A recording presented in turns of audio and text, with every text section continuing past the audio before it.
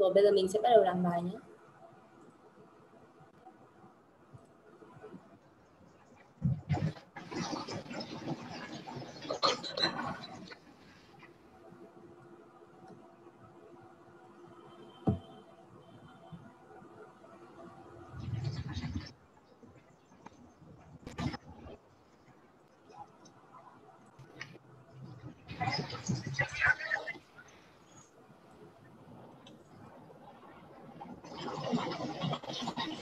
Đây là con làm đi. Cố ví dụ như là viết hẳn ra vào vở ví dụ 1, 2, 3, 4, 5, 6 cũng được. Hoặc thôi viết lên bảng luôn cũng được nhá. Cô viết vào cho. Ờ, khoanh lên bảng cho cô nhé. Nhưng đây nó có bài nghe. Nghe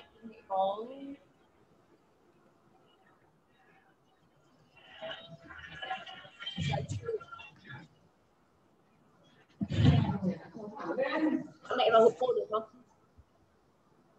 Đây, cô gửi đây, con thử làm đi, làm 40 phút thôi nhá. Chị ơi, chị ơi. Gọi mẹ hộ cô được.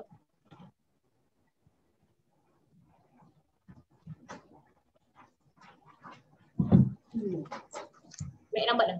Không gì cô nói không? Không ạ. Mẹ con đang ở đây, con không bận. Cô bảo Cô bảo gì? không biết. Cô bảo gì? Ở đây cái bài một nghe đây ạ. Nghe và chọn một câu trả lời đúng như đây là Gì? bài đó là bài nghe ạ. Cái bài một này ạ. Ừ. Ừ, Đó là bài nghe thì mình có file nghe không không không có phải nghe. Là Nhưng mà mình- vẫn điền được đúng không? Liệu có điền không? Nhìn nhìn nhìn điền. Nghe nhiều khi không nghe được phải đoán để nhìn chứ đúng không? Em nghĩ chắc là cũng cái này không cần thiết phải nghe thì vẫn làm được thôi nhưng mà nếu như mà nó cho đề nghe thì con sẽ dễ dàng làm hơn nhưng mà thực ra cái này ờ, Ừ. nhưng mà có nghĩa là nhưng mà có một số câu thì đúng là cần phải phải phải nghe đấy ạ ví dụ như câu ba nói, Nghe. ừm, Ừ. Nhưng mà ví dụ con đi thi vào một số câu con không nghe được thì con phải phỏng đoán con con ấy thôi đúng không? thôi thì cái bài nghe này tạm thời em sẽ nghĩ là bỏ qua nhé em xem có tìm được không Ừ. cho con làm Ừ. bài trước chị nhé có nghĩa là tính điểm theo kiểu gọi Ừ. là làm được bao nhiêu câu thì tính số câu trên gần đấy thôi vậy bởi vì bài nghe này Ừ. nó lại có những câu là buộc phải phải ấy đấy buộc phải có nghe thì mới làm được Ừ. Thế thôi bỏ và nghe đằng sau vậy. Con con ngồi ghế thẳng ở sân nhà ngồi tập trung vào. Đi làm cho cô từ số 7 đến 10 chút nhá.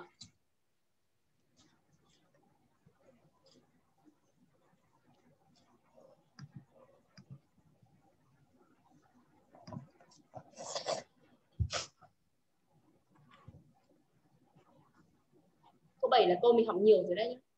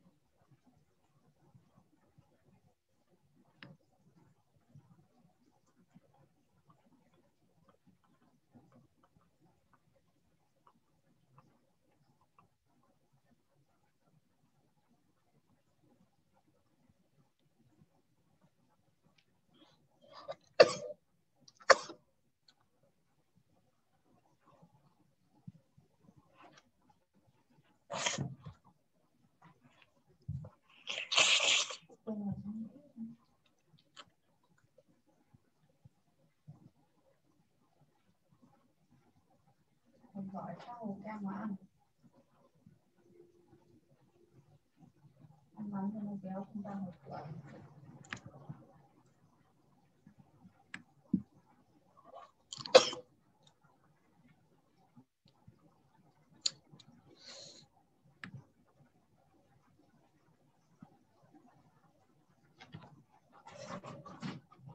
Thôi, cô cho con đọc nhé cô. Con chuột lằng nhằng quá. Thế đọc luôn đi. Câu 7 là A. Câu tám. 8 là B. từ từ đợi không khoảnh Rồi. 9B 10D gì? Có giữ nguyên đáp án không? Có à? Rồi nhá, chuẩn nhá. Cái đề này thực ra là cũng dễ đúng? Chính là đến phần viết ý. cái phần đáp phần trắc nghiệm này thì cô nghĩ là dễ. nhưng mà có 40 phút rồi Phần viết là bạn. Đấy làm tiếp. đi.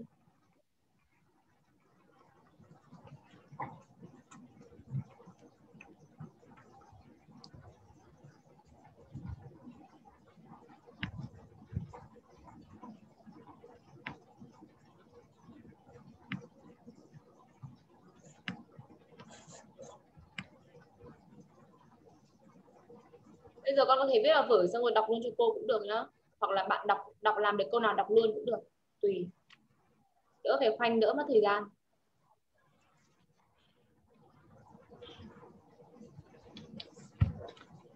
Câu 11 là A cùng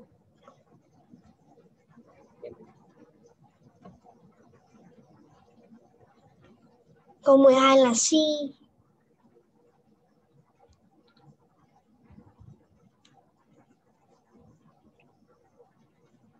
Cứ đọc đi nhá.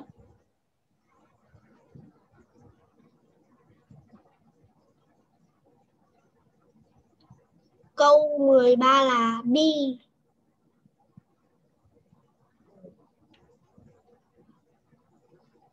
Câu 14 là C.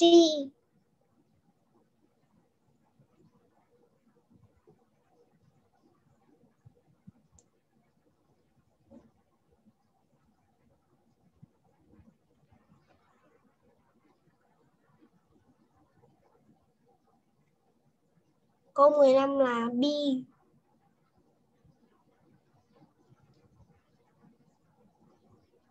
Câu 16 là D.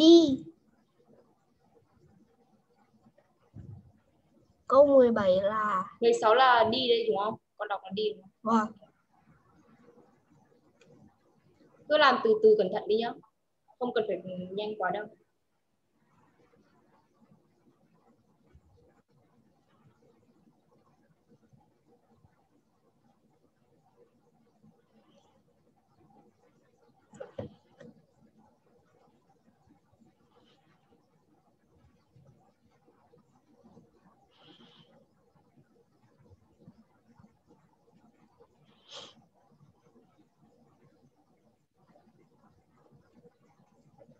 Giờ nhá, cô khoanh cho con các câu con đã chọn được chưa? Để con nhìn được đáp án. Đấy, để con có thể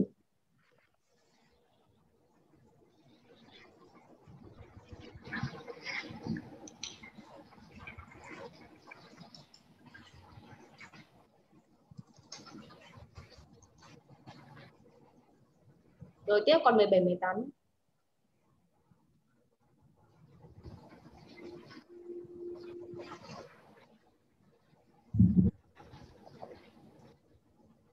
Cái phần everybody, everyone này có lần mình cũng học rồi đấy, có nhớ không?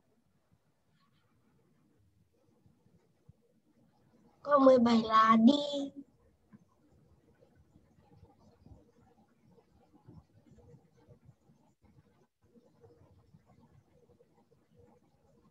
Câu 18 là B. Có cần kiểm tra lại nữa không? Không ạ.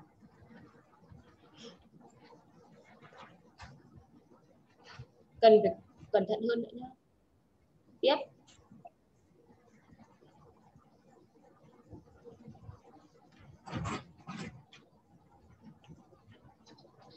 Câu 19 thì rất là dễ đúng không? Mình đã học khá là nhiều câu 19. rồi.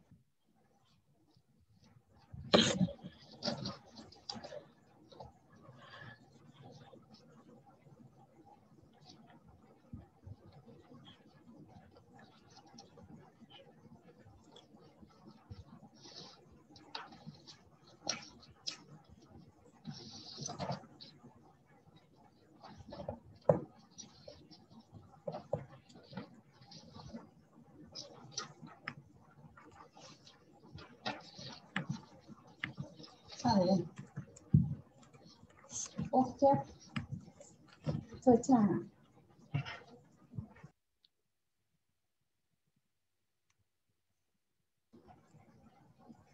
yeah. Dạ.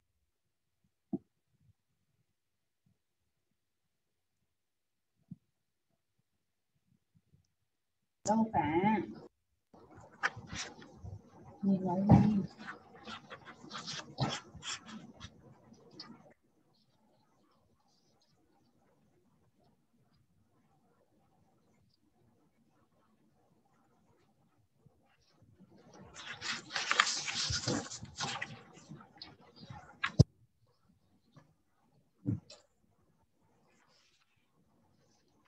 Đi còn nếu mà cô gái làm được thì có thể bỏ qua. Ngoại. Câu 19 là đi à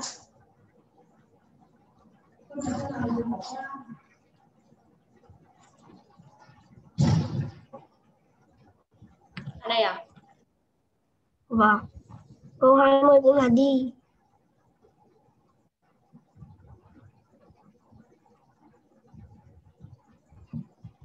Rồi tiếp đi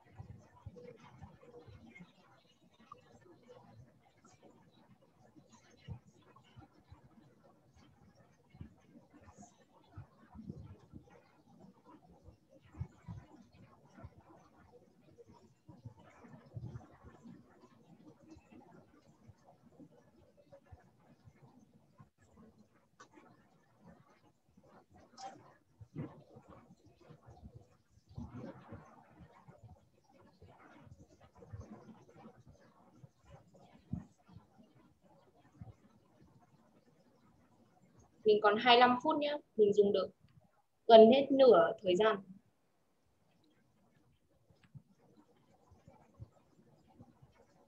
Thực ra là 21 là si 21 C được chưa? Tiếp 22 này 22 là A. 23 là đi 24 là si.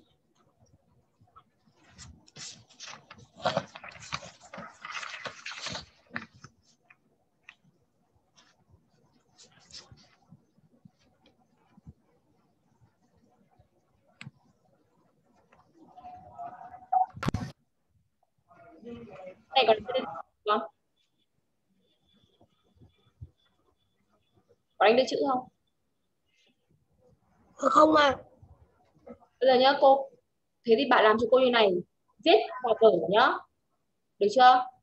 Đấy sau đó bạn nhờ mẹ chụp ảnh gửi thì nó mới chuẩn được. Còn nếu như để cô đánh cho thì không không chuẩn. Vì nếu như để cô đánh thì chắc chắn là sẽ đúng chính tả. Bạn hiểu chưa? Thế bây giờ thử đánh xem để chuột có lỗi không nè Bây giờ con làm cách nào để nó tiện nhất cho con nhé và đảm bảo là con cố gắng làm đúng nhất có thể nếu được. Chứ không nếu như mà mình đánh ẩu hay đánh các thứ ấy, hiểu chưa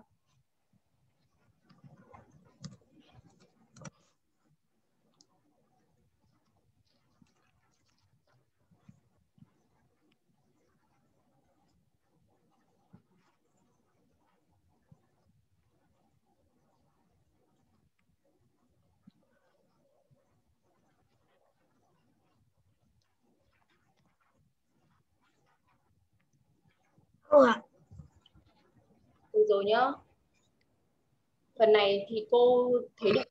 Ở phần viết này nhá thì do bạn viết lên bảng đúng không? Nên đến đâu là cô chữa được đến đấy nhá. Còn tự luận lát nữa quay trở lại chữa sau. When is drinking that? Được rồi, chỗ này được rồi nhá. Tiếp, bài này bài này rất dễ nhá. Được chưa?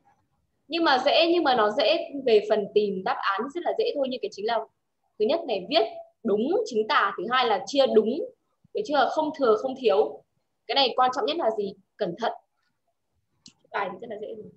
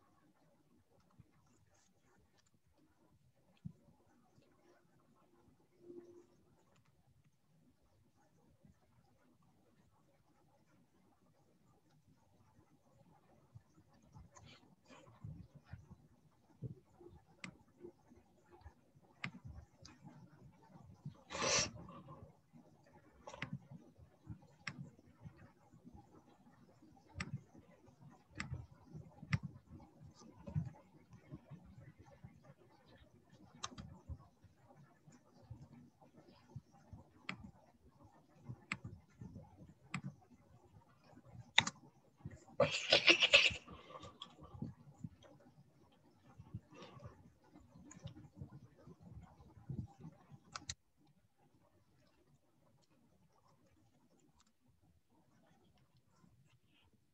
còn 14 phút thôi nhé cố làm nốt câu này đây để còn xuống cùng bài cuối.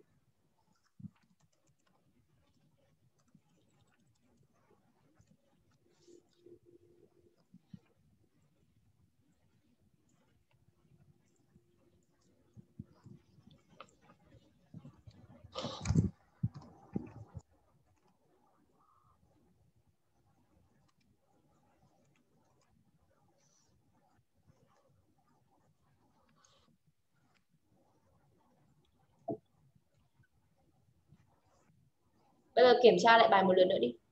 Kiểm tra lại trước khi mà khi nào mà xác định là xác nhận là xong nhé thì cô mới chấm nhé chưa?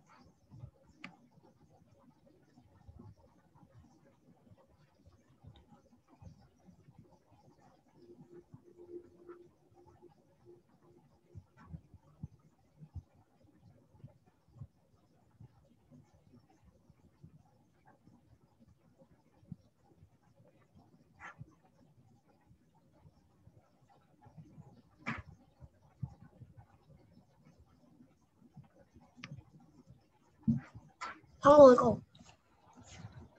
Luôn mà bởi vì là cái này không là mình bị xóa đi, để bạn nhìn được lỗi của bạn luôn. Why chính đang đúng sở thành sai này? Visit somebody luôn nhá, mình không có tu đâu. Tiếp này. Câu số 31 này. Bị sai ở đâu? Do bạn bê nguyên xuống mà quên không chia này. Nhìn thấy không? Đang ở đây là dây, xong tự nhiên ở dưới lại là we. Nhìn thấy chưa? Có hiểu cô này mình phải sai đâu không?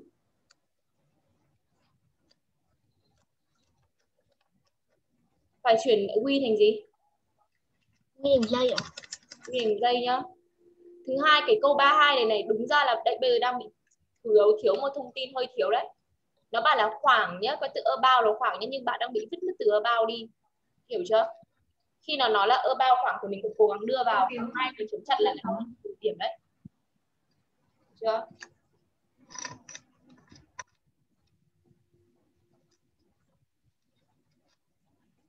tiếp này. Bây giờ còn 10 phút thôi nhá, làm cho cô cẩn thận. Nốt bài cuối đi.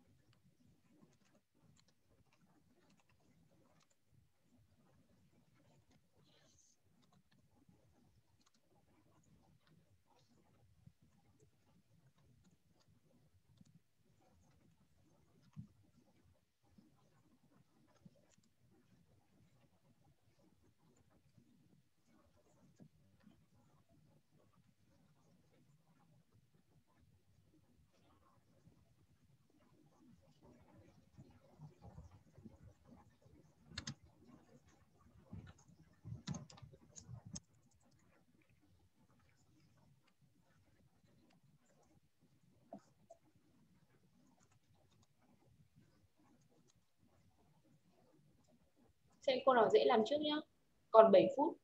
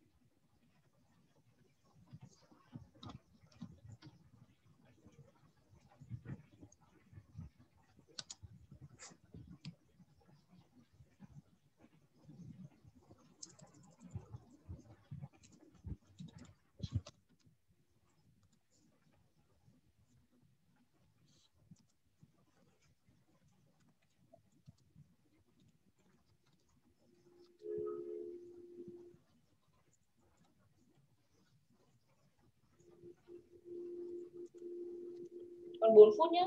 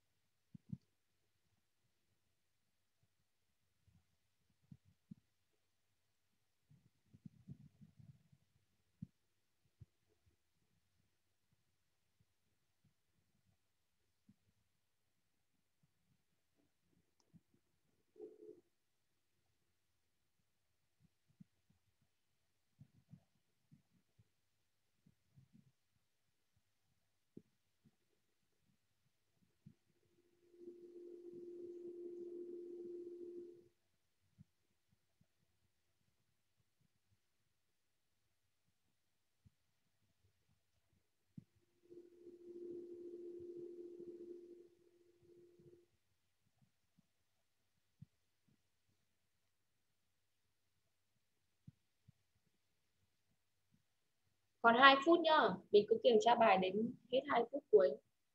3 giờ 10 cô mình chấm.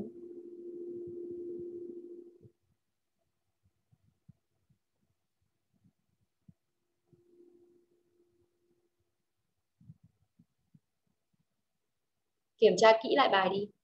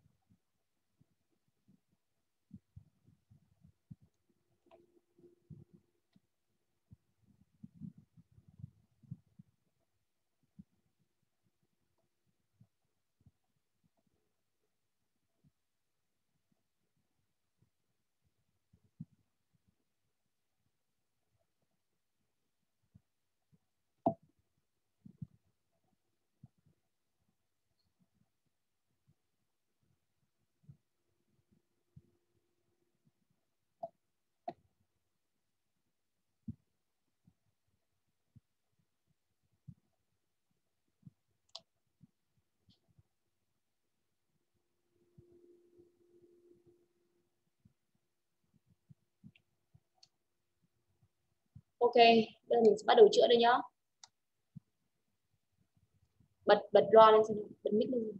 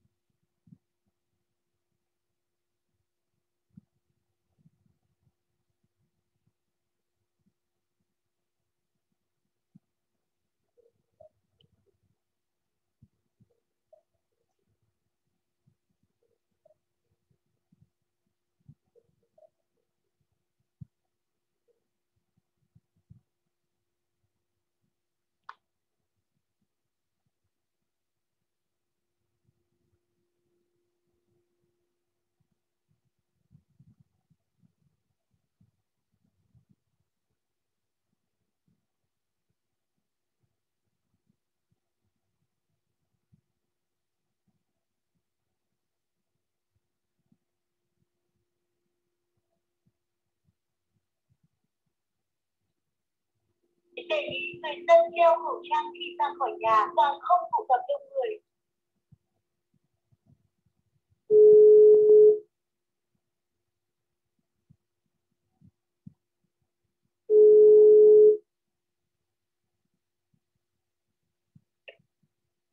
Alo, Alo chị ơi, hình như là con thấy con có vào được nữa không ạ? Ờ, có điện. Tất cả mạng con bắt điện.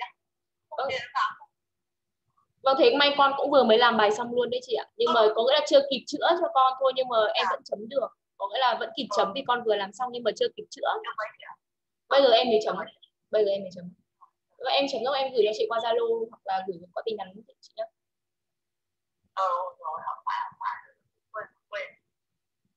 Vâng nhá. Vâng chị nhá. Có gì em em chấm rồi em gửi chị điểm nhá. Ờ, ờ, rồi, rồi. Em gửi vào Zalo. Vâng, em chào chị ạ. Em ơi, em ơi, em em chữa thì em gửi vào Zalo. Vâng Nhá. vâng. Vâng. Ờ.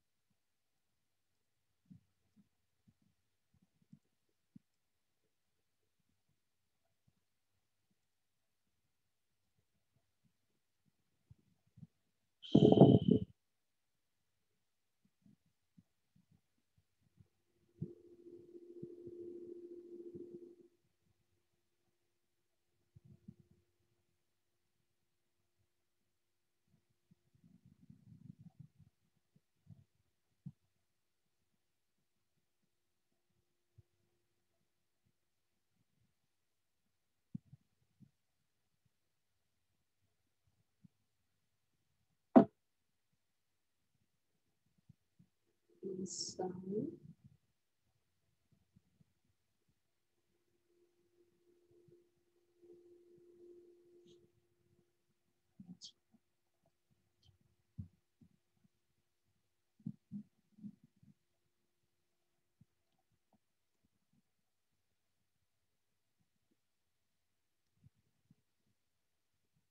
alo ạ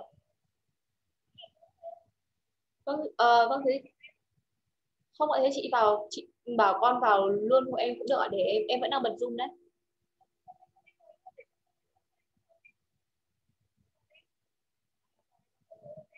Vâng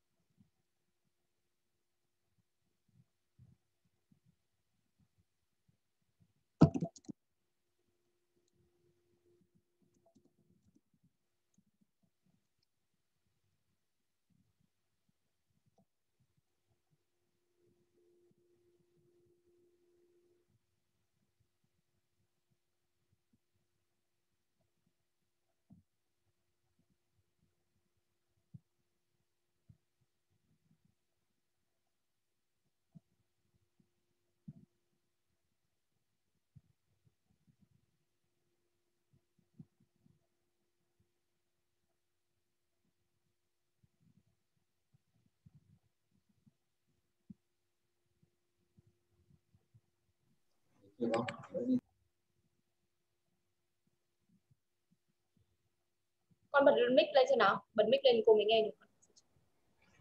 À, chờ một chút nhá.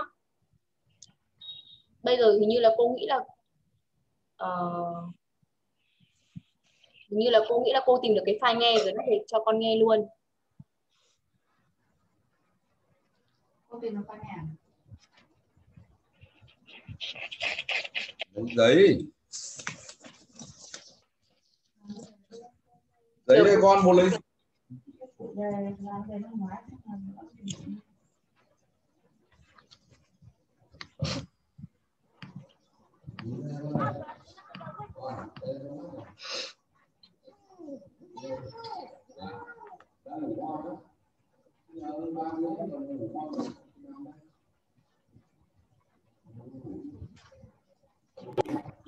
đây là cái phần nghe của bạn này.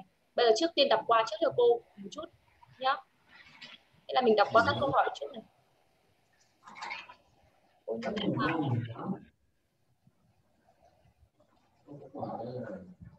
sao không cho to được?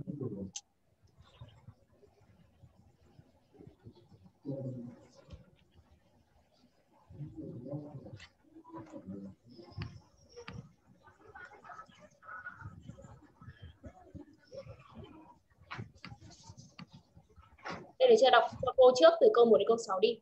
Nhá.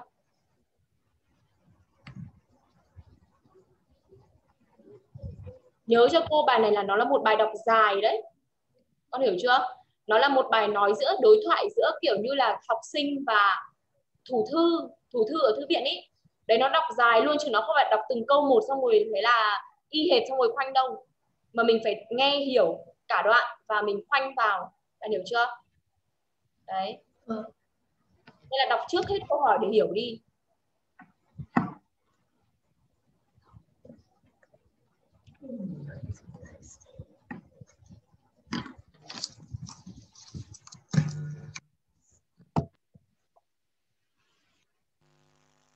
Thôi rồi nhá, bắt đầu nghe nhá. Cô bảo cho thời gian đọc chả biết có đọc. Cứ làm gì. Bắt đầu làm luôn đây này. Bạn hoàn toàn nhá, lấy cái giấy bút ra nhá, đánh từ 1 cho đến 6, hiểu chưa? Đấy, sau đó ví dụ câu 1 là đáp án A hay B hay C thì viết ra đấy để để nhớ được đáp án được chưa? Chứ nếu như khoanh lên bảng con không khoanh được, khoanh nó khó. Đấy thì nhớ nghe và nhìn vừa nhìn lên bảng đọc câu hỏi này và viết ra giấy đáp án. Bắt đầu đây này. This recording is from the British Council. Hi, excuse me, Yes, where's the library? the library. It's next to the registration office. Uh, sorry, I'm new. Where's the registration office? No problem. See the big building over there? Yes. Okay, so that's the lecture theatre. Next to that, on the right, is the registration office. And next to that is the library. I see. Thanks. Hello? Hello? Is this the library? Yes, it is. Quiet, please. Oh, sorry. Thank you. Can I help you? Uh, yes, please. I want to borrow some books. What do I need? You need a library card. Here's the application form. You can take up to six books maximum today. Okay, six books. Yes. You have two weeks to read the books, then you bring them back. And if I'm late? Every day you are late, there is a fee of 50 pence. Okay, 50p a day. Uh, anything else? Mobile phones must be switched off in the library. You can bring your laptop, but please use headphones to watch videos or listen to music. Okay, great. And you can't bring food or drink. No food, no drink, and. And please speak quietly. People are working here. Oh, uh, oh, okay, thank you. You're welcome. This recording is from the British Council. Rồi xong chưa? To find more activities to practice your English, visit www.britishcouncil.org forward slash learn English. Có nghe được cô nói không? Có à. Nên là nãy giờ bởi vì không thấy nhìn trên bảng thì chắc là cô mẹ in để đọc cho cô câu một đáp án nào nhỉ? Một là B à. Tiếp hai nào. Nhưng mà con chưa nghe được câu 2. Bây giờ bây giờ nhá không nghe được thì cũng phải làm kiểu bài khoanh ý thì kiểu gì cũng phải điền bừa một cái bạn hiểu không? Bài khoanh không bao giờ bỏ đâu. Có nghĩa là bài khoanh lúc nào mình cũng phải điền nhá. Chưa nghe được cũng làm. B à. Mình chọn đáp án nào nhỉ? Card à? Được chưa? Tiếp đáp án ba nào. À. Tiếp 4 nào. Là D à. Tiếp 5 nào. D à. Rồi tiếp 6 D à. đi. Tiếp câu 1 đây.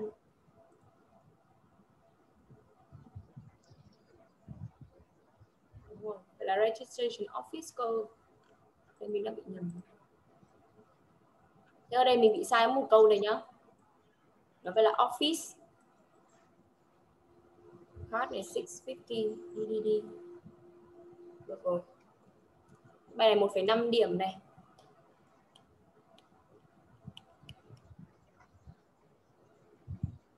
Luôn.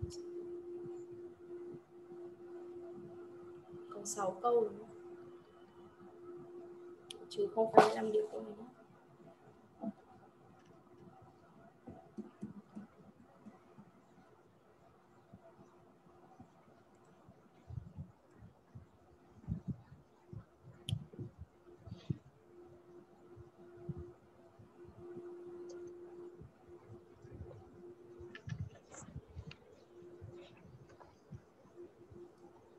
giờ tôi cô chữa cái bài tiếp theo nhé. Câu 10 Bạn bị sai ở đây câu 16 nhé, mà một lỗi này rất là đáng tiếc. Nhìn cho cô câu 16 ví dụ con ở câu 16 con chọn từ student. Thì bạn có phát hiện ra được là bạn sai tại sao sai câu này không? Cô vì student là số ít. Đấy thấy chưa? Cái bài này nó rất là dễ. Nên cô mới bảo là chúng ta đi thi, đôi khi cái người giỏi nhất chưa chắc đã được vào, mà cái người kém hơn có khi lại vào, tại sao? Nó ăn nhau ở cái gì? Sự cẩn thận. Nhớ chưa? Cái sự cẩn thận là nó rất là quan trọng. Đấy.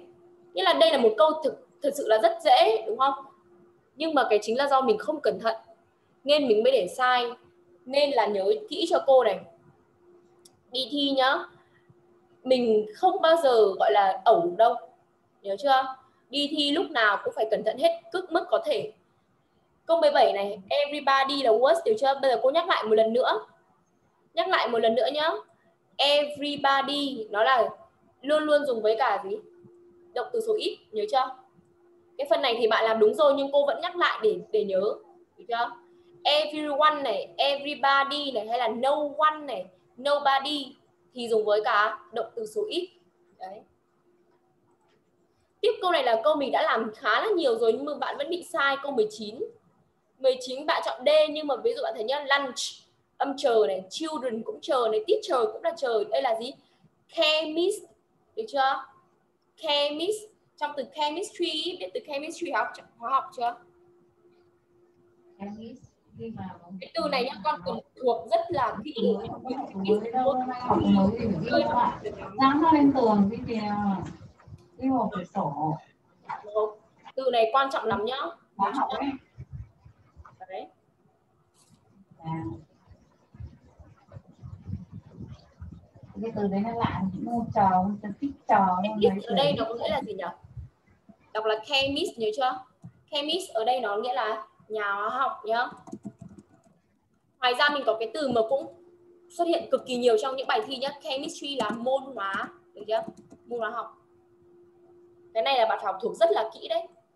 Không thể quên được cái này đâu. Vì cái này nó là từ xuất hiện cực kỳ nhiều. Lên lớp 9 cũng xuất hiện nhiều đấy.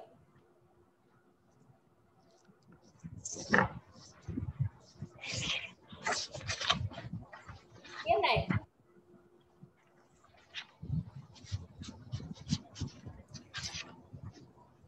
Phần ở đây thì bạn làm được đúng rồi.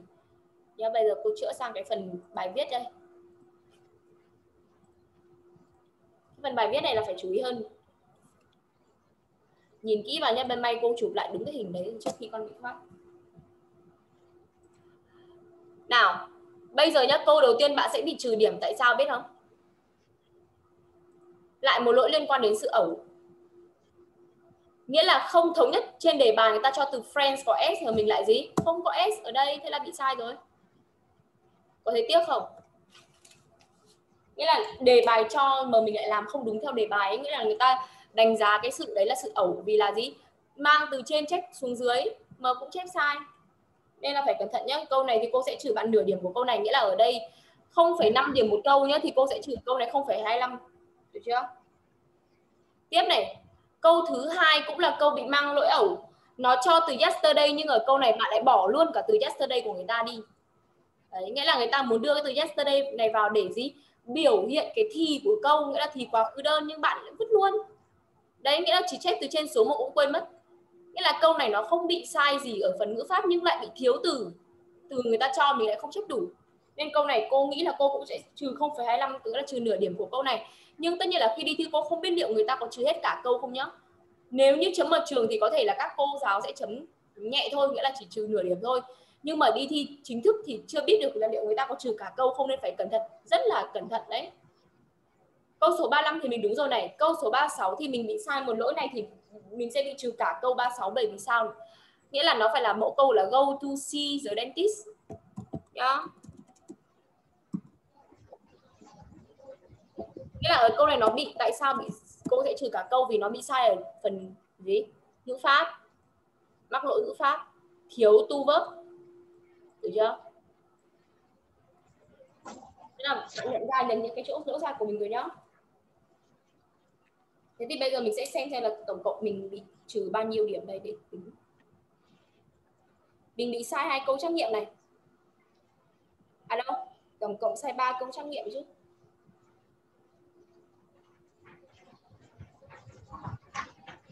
Hai ba câu trắc nghiệm nhá. Tiếp này. Phần tự luận ở bài đọc và trả lời câu hỏi bạn bị sai mất hai câu và một câu thiểu ý. Là không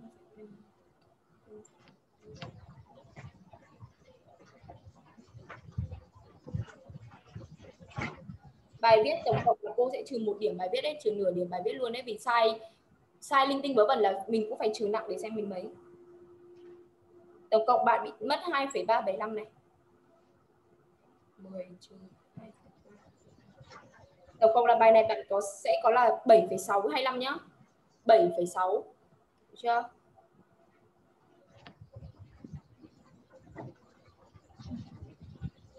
Thế thì nếu như để 7 điểm thì nghĩa là 7,6 nghĩa là mình vẫn đang bị gì? Đang chưa được đủ điểm. Mà tại sao lại sai? Có nghĩa là ở đây đúng ra con hoàn toàn dễ dàng đạt được 8,5 điểm một cách dễ dàng nhé nhưng mà để sai ví dụ như câu này thiếu chữ S này hay như câu này thiếu mất chữ yesterday của người ta. Bạn hiểu chưa? Nếu như mà hai câu đấy đúng thì đã cộng được thêm 0,5 đấy. Và tiếp theo này như cái bài trên nhá ví dụ như là bạn viết đầu tiên uh, tự nhiên bạn lại viết cái từ visit lại visit to của uncle lại bị đấy tự nhiên bạn đang câu đúng bạn sửa thành sai câu đấy mà đúng thì cũng đã được cộng thêm gì? 0,25 nữa. Đấy thế thì có nghĩa là cái để mà đạt được tầm khoảng 8,5 hoặc là 8,3 bài này rất là dễ. Nhưng mà cái chính là cần sự cẩn thận nhớ chưa? Đấy. Cô chỉ yêu cầu bây giờ là cần cái sự cẩn thận thôi nhớ chưa? Đấy. Nên là nhớ cho cô nhá mỗi lỗi ở đây cô trừ những lỗi không quan trọng cô trừ nửa điểm nhưng không biết được là nếu đi thi thật là người ta có trừ nửa điểm hay trừ cả điểm đâu. Nếu như trừ hết thì bạn sẽ còn kể cả điểm có thể bị thấp nữa. Con hiểu chưa? Nên rất là cẩn thận cho cô. Một chữ s cũng không bao giờ được để sót. Thiếu một chữ s không được nhá. Được chưa? Thiếu một chữ yesterday không được. Thiếu một chữ tu không được. Phải làm rất cẩn thận vì bài này sự là nó không khó. Nhưng chúng ta sẽ đánh giá sự cẩn thận thôi. Được chưa? Đấy nếu như được nhá nên về nhà làm lại một lần nữa cho cô cả bài này được chưa vẫn nên làm lại một lần nữa nhé Vâng, làm lại đi. Được mấy điểm, có xong chưa? con được Hả? tổng là 7,625 chị ạ thế nghĩa là tiêu. nhưng mà ở đây là em tại sao em lại chấm như vậy có nghĩa là ở đây nhá con để em kiểu nói luôn cho mình là hiểu là tại sao ví dụ như ở chỗ này mình thấy là ở đề bài người ta có chữ friends s đúng không ạ thì ở đây chị nhìn thấy rồi bài của con nó không có s. Nghĩa là con bị check từ trên xuống nhưng con bị check bị thiếu ấy. Đấy nên là em trừ ở đây nửa điểm của câu đấy. Nghĩa là câu này không phải năm Theo, theo trên xuống mà theo, theo từ trên xuống mà Đấy. người ta cho chữ chữ từ trên xuống chết sai. hoặc là như câu số 2 người ta cho từ yesterday. Nhưng con cũng quên luôn tất cả chữ từ yesterday. Nên là câu này thực ra là em cũng chỉ trừ nửa điểm thôi nhưng em cũng không biết là liệu người ta có trừ hết không vì là thiếu hẳn Người ta cũng phải trừ thế chứ ai người ta ấy. đây là bị chắc thiếu hẳn một từ một từ đây là dấu hiệu nhận biết. Đây là nó là dấu hiệu nhận biết của câu này nghĩa là dấu hiệu nhận biết thì quá khứ đơn ấy nhưng mà bạn ấy đang bị thiếu chỗ này quên đấy. Còn như câu 36 đây ví dụ như là bị thiếu mất từ tu thì nó sai về phần ngữ pháp thì còn chưa nói lắm. Nghĩa là thường thì các bạn cũng không thể nào đòi hỏi là các bạn ý làm đúng 100% nhưng mà những cái chỗ mà mang tính gọi là cầu thả ấy thì là ờ, nó có thể khắc phục được cái chính là bạn phải cẩn thận Ừ. hơn. Em ơi, Vâng. gửi lại cái đề cái đáp án này vào Zalo cho chị xong chị in lại đề chị cho nó làm lại nhé. Vâng, chị cứ cho con làm đi ạ không thì chị cứ cho nếu như chị in ý chị cứ cho con làm lại đi xong chị lại chụp nguyên cái bài đấy để em Gửi cho em á? vâng ạ Rồi rồi rồi, ok. nó chuẩn hơn Ừ ừ. rồi cảm ơn em nhé Vâng. có còn một số đề nữa nhưng mà nó chỉ là đề tham khảo thôi không sao ạ có nghĩa là miễn là nó Ừ. cứ gần sát sát. Bởi vì thực ra là cái đề Ừ. nếu như theo như đề này thì nó dễ hơn đề của em. Đề của em thì nó khó hơn một chút. Đấy nhưng mà nghĩa là nhưng mà cái đề này để kiếm được điểm ờ, điểm ờ, tầm điểm 8 đến điểm 9 thì cũng không phải là dễ đâu. Thực ra 8 với 9 nó không khó chỉ cần con cẩn thận thôi. cẩn thận. Đấy nghĩa là con bây giờ con tầm- cẩn thận thôi ạ còn bây giờ tầm đề- 18 9 điểm chứ mà điểm mà dưới 8 thì chết rồi. Nghĩa là bây giờ cái chính là con phải luyện cái sự cẩn thận thôi ạ. Còn nếu như em thấy về cái kiến thức ngữ pháp của nó là con học hết rồi và con thực ra cũng nắm được cái phần đấy mà chính là bạn ý đấy. Phần trắc nghiệm của bạn quên ý nhiều từ thì cũng không không kém phần trắc nghiệm cũng khá. Nhưng mà đến cái phần viết là bây giờ phải cẩn thận con nhớ chưa? phải đẩy lên. tối thiểu là cũng phải 8 điểm nhớ chưa chứ mà điểm thấp thế điểm mà dưới 8 thì chết. Tức là con là muốn là phải thi vào cái lớp lớp lớp đầu đầu tiên của trừ lớp chọn em ạ cái lớp đầu ấy. Chứ còn thi mà vào cái lớp bình thường ấy thì lớp đuôi ấy thì nói gì? Ờ, thực thì ra điểm em phải tầm mình 8 không- trở lên thì nó mới được hả? Nói chung là tức là từ không- 8 trở, trở lên nó mới vào được vào lớp nó mới được vào lớp chọn nói chung là thực ra là Chọn đến Anh cái, cái cái cái giây phút này thì bạn ấy chắc là cũng không có nhiều thời gian để ôn thì thực ra là mình cũng không đặt quá nhiều gọi là cái áp lực lên con nữa đúng không ạ? Cái chính bây giờ là chỉ rồi còn cần là con cố gắng gọi là động viên con là con cố gắng hết sức là con không bây giờ nhá không cần thiết phải học thêm nhiều quá nhưng cái chính là phải gì? Con phải cẩn thận từng cái câu từng chữ nghĩa là nhá không bao giờ chưa? mình mình mình bỏ sót từng phút nào Nghĩa là nhá, Phải khi con nhớ là ví dụ nhá con ờ, còn không được để thừa thời gian thực ra là phải xem lại nhớ chưa? Không bao để giờ mình ngồi lại. im không bao giờ ngồi chơi con nhớ nhá không bao để giờ ngồi xem lại. Không bao giờ Nhớ con xem. được gì. Dò lại xem mình có sai ra ngoài phòng thi sớm. Không bao giờ ngồi ra ngoài phòng thi sớm thận lắm. Kể cả con làm xong sớm nhá con cứ ngồi con nhìn từ đầu xem lại. kiểu gì nó cũng sẽ kiểu như là là là là nếu như có lỗi sai là sẽ hiện ra. Như ngày xưa như là kiểu như là ai đi thi cũng vậy thôi có khi nhá người ta cho một tiếng làm bài nhưng có khi cô làm 20 phút đã xong rồi. Đấy. Thế là cả ngồi nhiều lúc ngồi chơi ngồi cứ chơi chơi xong đến lúc trả bài như thế có một cái lỗi thiếu s. Thế là về sau mình mới rút kinh nghiệm ra là gì? Kể cả làm bài có xong rất là sớm có xong 20 phút người ta cho một tiếng 20 phút làm xong nhưng vẫn ngồi đọc cứ đọc đi đọc lại là cuối cùng lại phát hiện ra được những cái lỗi rất là bé. Thậm chí một dấu phẩy một dấu chấm phát hiện ra thế là nó mới nhớ chưa? Phải đọc lại bài nó cứu được không phẩy năm năm đi thi. đáng tiếc con hiểu chưa đấy. Ví dụ như lúc nãy student số ít số nhiều sai chết thật. Sai một cách vớ va vớ vẩn thế rất là dễ nhưng mà chỉ là ví dụ bạn Ừ. quên bạn nhìn không nhìn ra chữ S thôi là bạn đã đã mất không không mà nhớ cho cô khi trò tiếng Anh phải nó hay sai vậy đúng không? tiếng Anh thì nó lại hay sai thế nó lại không giống như toán. Ví dụ môn toán mình làm ra là ra luôn kết quả. Nhưng cái môn tiếng Anh thì nó cứ kiểu nó cứ tiểu tiết là hay bị nhầm lẫn. Đấy đúng rồi đấy ạ. Nên là phải rất cẩn thận. Với cả thực ra môn tiếng Anh là nó Ừ. kiểu như là nó cứ chặn chặn hết rồi nhất là câu mà trắc nghiệm người ta cho là nó cứ nghĩa là chỉ cần khoanh nhầm nhầm một tẹo thôi là khoanh sai một cái thôi là thôi luôn là mất luôn. Đúng rồi. Đấy nó rất là còn thực ra môn toán nếu như nó làm cả cái trắc nghiệm nó cứ dài ngoằng ra những bài nào mà trắc nghiệm à những bài tự luận ý thực ra là nó người ta sẽ kiểu ờ, miễn là thôi đúng kết quả nhưng những trong quá trình làm nó sai một số đôi chỗ người ta trừ. Đúng rồi. Chính môn toán lại hai bảy môn toán nó giải ra đáp số xong nó so sánh đáp số nó khoanh là xong. Còn đây đấy cho nên môn toán lại là môn dễ kiếm ấy chứ không phải môn toán mà biết ra lại dễ kiếm điểm cực. Nghĩa là vì giải đáp số nó khoanh nó chắc chắn luôn. Vâng. còn cái môn tiếng Anh nhưng môn tiếng Anh nó hay bị nhầm lắm ấy. Ừ. nên là con phải cẩn thận kỹ nhá. Đấy bạn phải hiểu được là bây giờ đi thi là cái kiểu nó phải đòi hỏi sự chính xác đúng chưa? Còn sau này đến lúc con học theo một kiểu khác nữa nó lại không đòi hỏi sự chính xác đâu. Nhưng đúng mà rồi. theo kiểu học chứng chỉ thực ra lại không học kiểu chứng chỉ thực ra lại lại lại theo kiểu một kiểu hơi khác ấy.